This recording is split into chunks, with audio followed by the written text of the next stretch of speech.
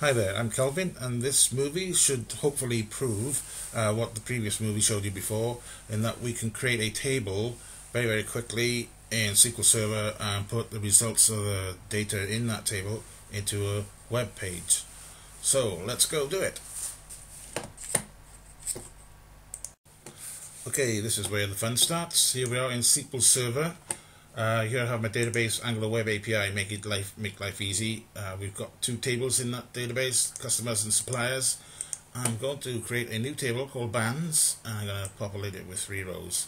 And as soon as I press the execute button, we're run the started orders and the stopwatch starts, and we see just how long it takes me to create a new table and show that table in a web page using Web API and AngularJS.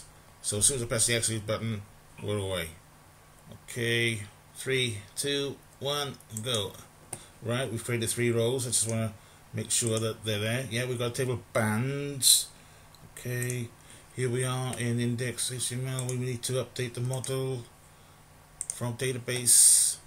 We need this to be quick, as quick as possible. We've got bands there. Okay, need to build it. Yes.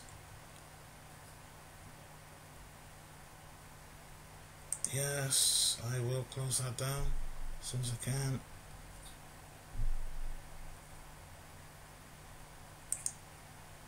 Okay, over to controllers. I'm going to create a web API, new controller, use an entity framework. Okay, we should find bands in the drop down. Band, okay, we are scaffolding, we are making some web APIs here. Okay, I've got to go into customers controllers because I'm going to pinch this attribute and put that into bands. It's the only thing that I do need. So the OData will run. Okay, so resolve using that. Good. Need to build it. Okay, that's all done. In index HTML, we need to just add our one line of code, hopefully uh, we're gonna this is where it could go wrong and I type in incorrect things. Okay just copy that paste that. We're gonna call that bands. We're gonna have an we have an ID on that table and we have a description. So we have bands list here.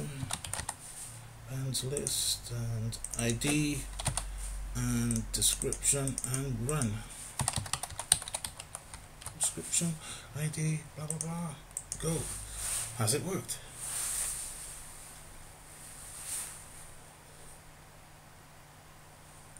Customers, suppliers, and bands. Please work. Please, please, please work. Come on. Come on. Yay! Wow. I don't know how long that took, but it must be under three minutes. It must be around that, but that's just fantastic. Uh, so, try and summarize here, I think. But for now, just look at that, bands. Yes, just a quick summary of what we've achieved um, from start to finish. We've created a table in SQL Server.